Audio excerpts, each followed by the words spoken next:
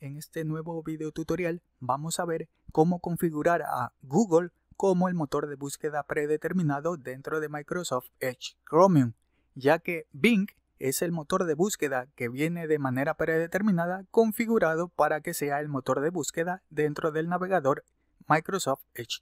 Por ejemplo, si en este cuadro de búsqueda de Edge Chromium escribo una palabra, por ejemplo esta que dice gatos, Notamos que el motor de búsqueda que utiliza para realizar dicha solicitud es Bing, pero lo que vamos a hacer es cambiarlo por el motor de búsqueda de Google, que es el rey de los motores de búsqueda.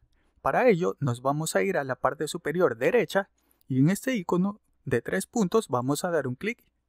A continuación, en las opciones que aparecen vamos a seleccionar la que dice configuración.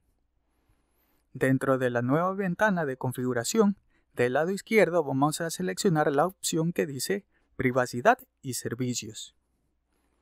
En las nuevas opciones que se abren, bajamos un poco y en el bloque de Servicios vamos a dar un clic en la opción que dice Barra de Direcciones.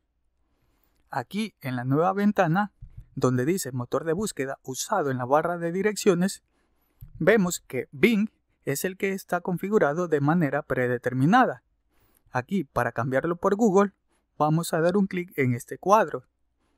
Se abre una lista de nuevos motores de búsqueda en donde vamos a seleccionar a Google. Y para completar la configuración, en la parte de abajo, donde dice buscar en nuevas pestañas, usa el cuadro de búsqueda o la barra de direcciones, vamos a escoger el que dice barra de direcciones.